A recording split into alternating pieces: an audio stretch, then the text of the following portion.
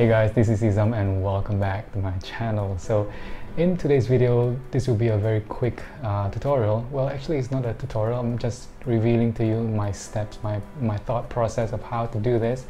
Uh, these chrome letterings are done, I did it earlier using Affinity Designer in my previous video. So you can check that out. The thing about Vectornator is that it's very different from Affinity Designer where Affinity Designer has strokes where you can apply gradient colors to it. Vectornator doesn't have it so we're gonna have to do a workaround.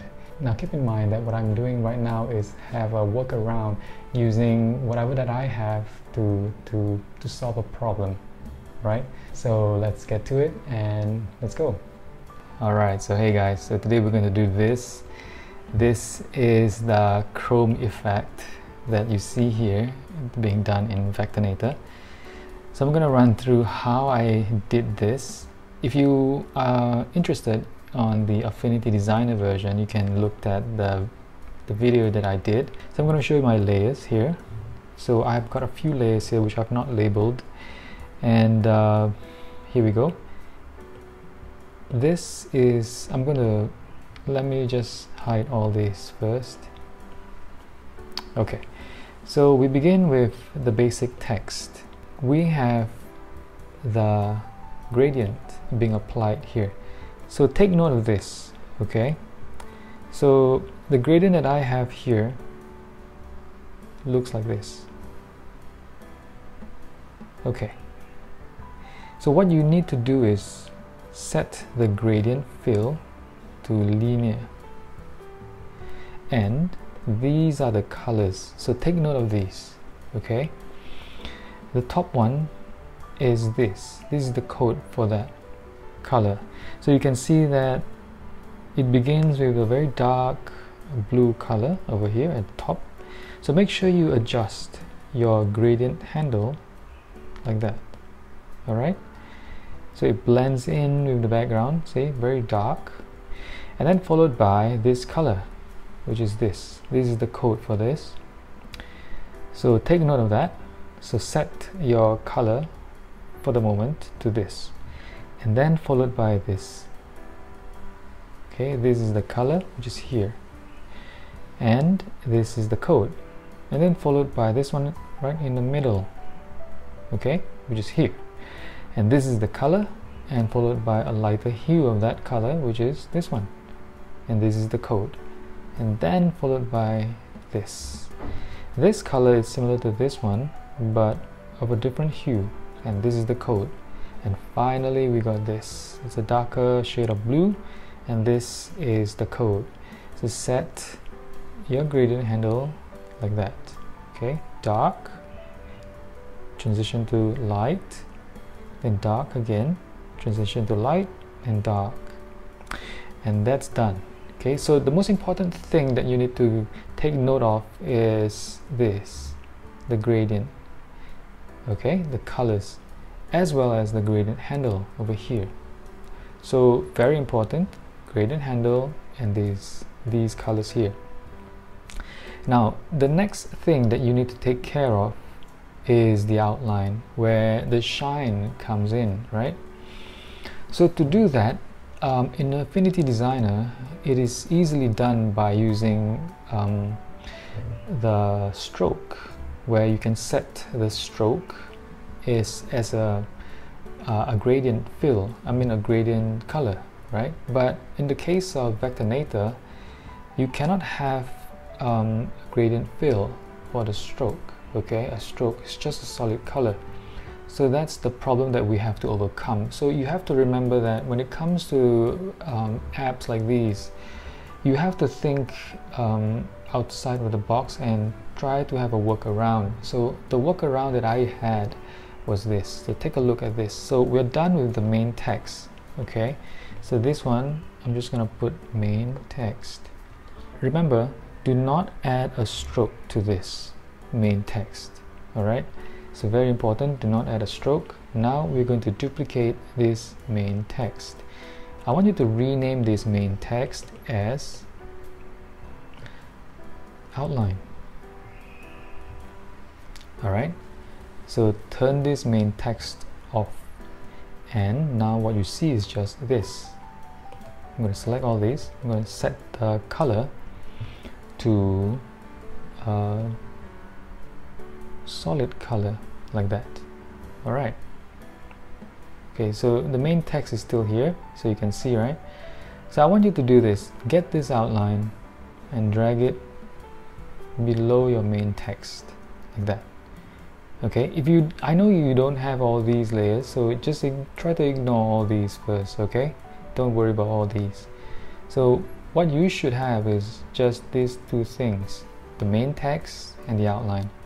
So very important lock this main text so that you don't accidentally move it and get this outline. Make sure it's um, just one color and then make sure you select this okay?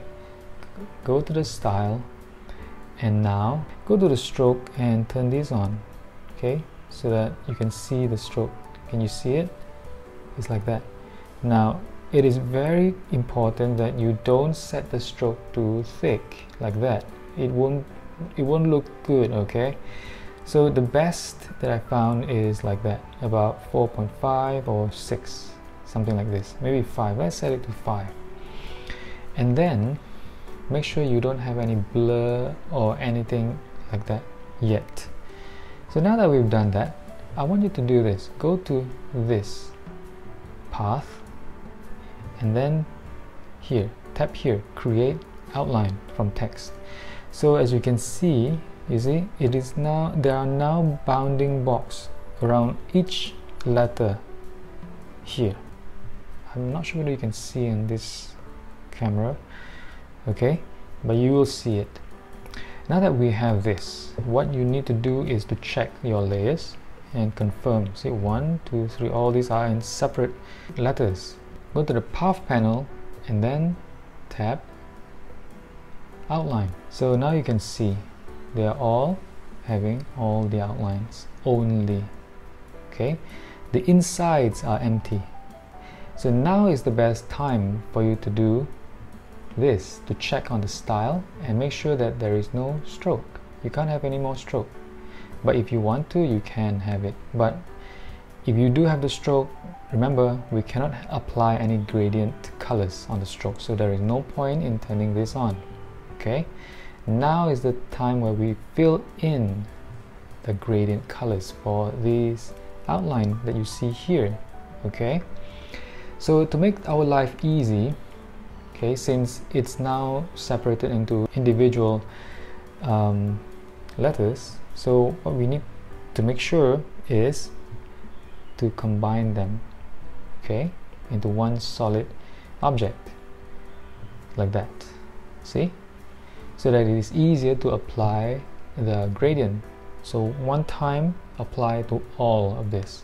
So let's go ahead and do this. Apply the linear gradient and you can see the linear gradient handle. Let me just tap here. Select all of this okay? And then tap this gradient. Bring it up over here and here over here okay? So now let's check on the style panel. And this this the first color on top it should be white like that. Okay. And followed by the last one which is also white. So very important. Take note the top and the bottom color uh, must be white. But somewhere in the middle over here also white. So you just tap on just tap here but set the opacity to zero like that. And move it over here. Okay? So it's, it's white transition down to alpha 0 okay? Then tap here. This is the middle one. And we want this to be full on opaque. Okay? Full on opacity. So full opacity zero opacity back to full and then zero. So we need to set this to zero and this to full okay make sure this is full. So that's that's it. But one final thing okay to make it look um, we don't in Vectornator we don't have a glow effect okay? But what we do have is the blur. So we need to make use of that. So make sure you select all of this the outline select the style. Now we're going to set the blur okay? Just tap and drag over here. Now when you set the blur it becomes rather thin. I mean the you see what I mean? It is not very strong the color. Is not very bright. It doesn't look like it's glowing. It's like it's fading out. So to add more you know impact on this what I did was I basically just slide over to the left tap here and duplicate that and duplicate again. There you have it. Now there's some glitch here on this app where it's not really updating the effect immediately after I duplicate. So you need to to move around or some tap somewhere around here okay? Then it will update itself. So that's it. So here we can see the effect of a, of a glow.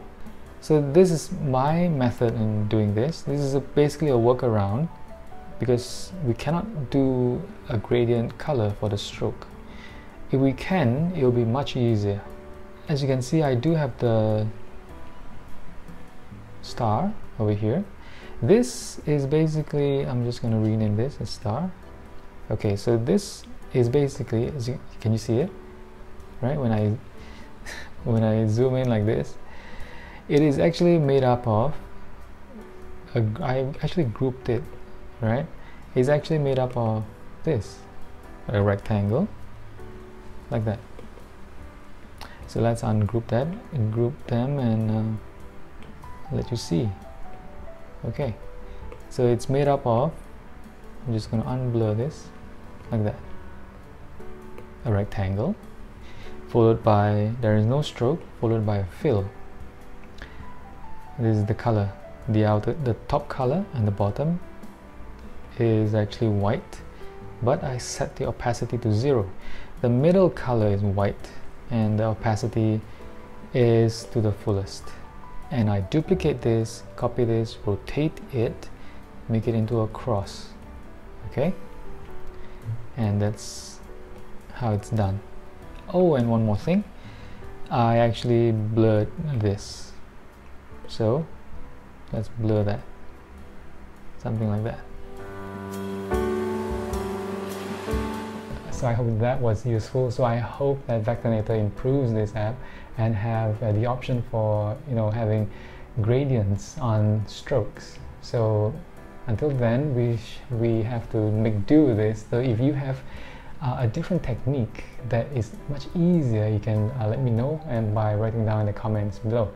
So until then I hope you have a great day and don't forget to subscribe to my channel and do give it a like. If you do like this video and uh, I'll see you then. Goodbye.